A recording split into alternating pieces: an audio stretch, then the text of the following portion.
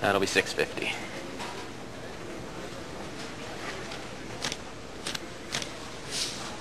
I can't accept that Why not? because it's not real money. Well, that's not a real breakfast.